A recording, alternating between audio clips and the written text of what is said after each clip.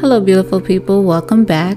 The backstory of why I'm even doing this is I wanted something over my fireplace that wasn't a clock or a mirror and everything that I found that was in my color scheme was crazy expensive and I could not justify spending that type of money on a picture. So I decided to make my own. The canvas was about $20 at Michael's. It was on sale. And the acrylic paints, which I got three of, were 54 cents each at Walmart. So the project came to about $23 with tax. I hope you guys enjoyed this video.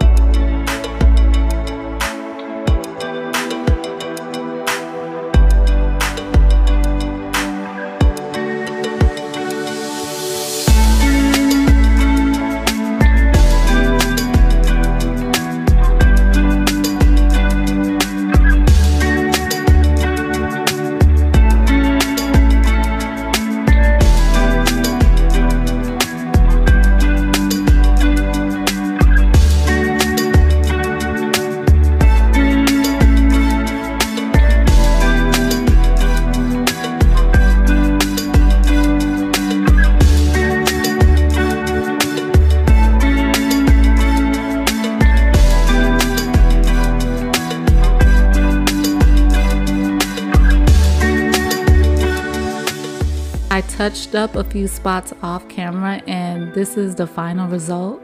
I love it. I am so happy. I'm so proud of myself for doing it and I really hope you guys enjoyed this video. Thanks for watching.